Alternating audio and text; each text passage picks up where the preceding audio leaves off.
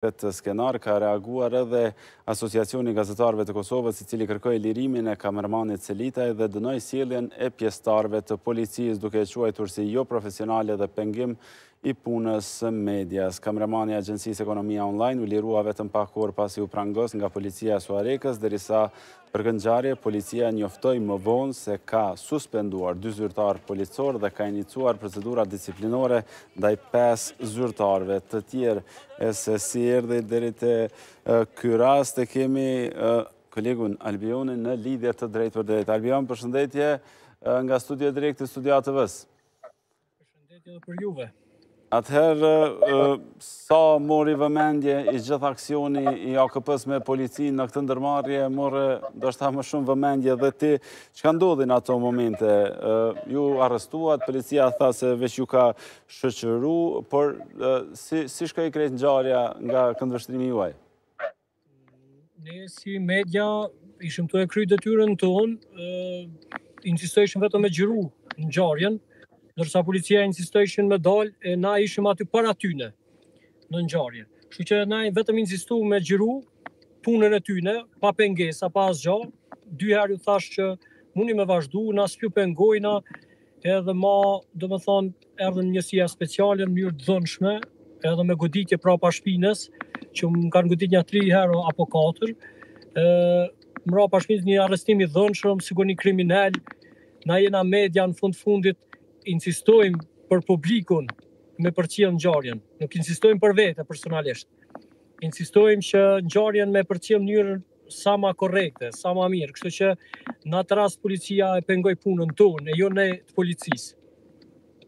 Po, si, si shkoi edhe ngjarja tutje, derisa po i shohim dhe pamjet, je i rrethuar me tre policë në pjesën kur dërgohesh tek vetura të vihen prangat, E kështu me radhë, si shkoi edhe kjo pjesa nga bartja tek lokacioni ku ishe duke kryer detyrën deri te stacioni i policisë dhe deri te lirimi.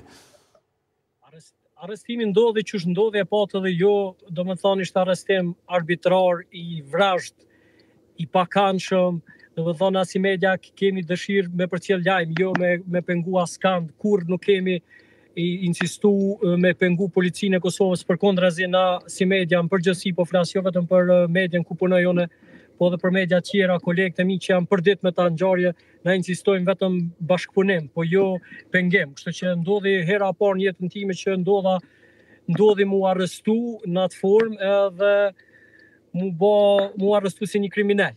Domethonë, pastaj u më dërgun në veturën e policisë së Suharekës, që i falënderoj shumë për korrektësinë, kanë qenë tepër të sjellshëm dhe mikpritës, edhe mu kanë arsyetu për ngjarjen që çka ndodh, po që disa herë më thanë që nuk ka qenë n'dorën e tyne mënyra e arrestimit që kanë bo policia njësia speciale.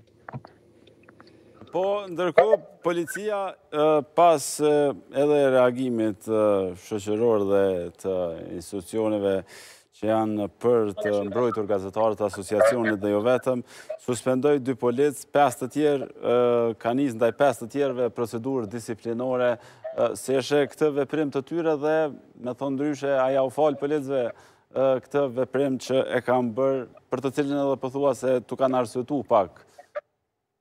Ndëgjo, unë nuk, nuk kam as problem me policë, a ja fal a nuk ja fal. Unë shpresoj se funksionon ligji, shteti ligjor që thirremi të gjithë, unë shpresoj që të funksionojë ligji, nuk është e rëndësishme a ja fali unë, apo apo institucioni jem. Me rëndësi është institucioni jem ku punoj unë. Domethonë me rëndësi është që kjo kjo mos m'u përsërit ma, shteti me ndërmarr masa ndaj policëve që e marrin atë drejt me arrestu një gazetar ose një kameraman në mënyrë arbitrare ashtu në atë formë.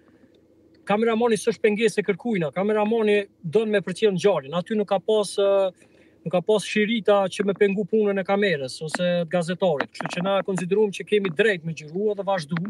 Kështu që unë shpresoj që shteti ka me reagu në formën e duhur për këtë rast. Plus mu, m'duhet me cek m'u hap rast si pengesë e zyrtarit policor, domethonë si pengesë në kryerjen e detyrës, domethonë u kërkova disa herë që mos të, mos të ndërmarrin atë masë, po ata insistun se t'i kena vendos prangat e tash duhet me të hap procedurë. Kështu që Ishte ishte një situatë e palakmushme edhe tra, traumatike në ato momente. E, I falënderoj edhe shumë mediat edhe kolegët e mi që më kanë mbështet në këtë rast, se kjo është në fund fundit edhe mbrojtja e lirisë së shprehjes edhe lirisë për me qenë qytetar i lirë, me xhiru, me përcjell informata, kështu që shpresoj shumë që nuk ndodh ma. Okej, faleminderit shumë, Albion, durt qysh i ki, a po dhamin prej prangave?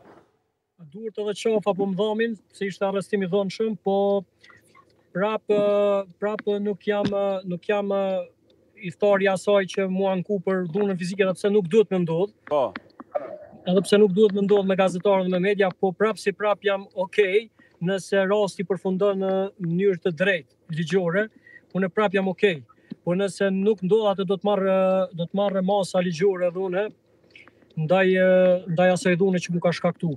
Ok, Albion, të falënderoj shumë për kohën që ndave edhe këtu për direkt në ATV. Faleminderit. Ishte pra kolegu Albion Selitaj për detajin që mori po ashtu vëmendje shumë, elaborim më në detaje i gjithë ngjarjes e mbesim ende tek sundimi i ligjit në gjykatën themelore.